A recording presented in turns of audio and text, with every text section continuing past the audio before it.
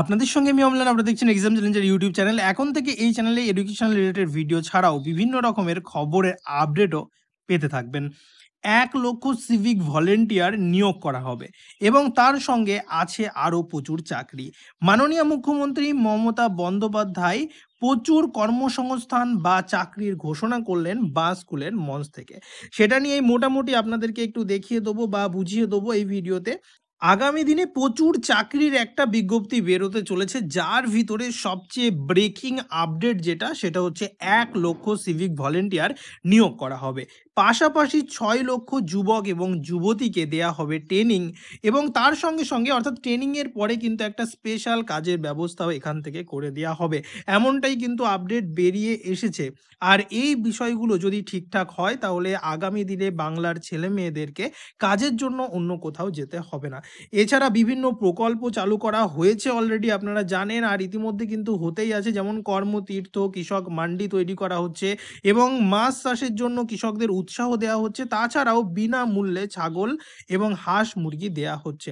আপনার যদি বিনামূল্যে ছাগল, হাঁসের পোলট্রি অথবা মুরগির দরকার হয়, তাহলে আপনারা একটা কাজ করতে পারেন। আপনারা স্থানীয় প্রশাসন অথবা আপনার যে বিডিও বা বিডিও অফিস, সেখানে গিয়ে আপনারা যোগাযোগ করতে পারেন এবং সেখানে যোগাযোগ করে আপনারা প্রসিডিওরটা জানতে পারেন যে কীভাবে কি করলে আপনারা এই জিনিসগুলো পেতে পারেন বা এই ছাগল, হাঁস, মুরগির পোলট্রি খুলতে পারেন। তাদের কাছ থেকে বিনামূল্যে এই হাঁস, মুরগি পেতে পারেন। সেটা সেখান থেকে বলে দেবে কি কি কোয়ালিফিকেশান লাগবে কেমন আর কি আপনার ইনকাম হতে হবে। যাবতীয় একটা তো বিষয় থাকবেই, সেটা আপনারা ওখান থেকে জেনে নিয়ে কিন্তু আপনারা বিনামূল্যে এই জিনিসগুলো পেতে পারেন।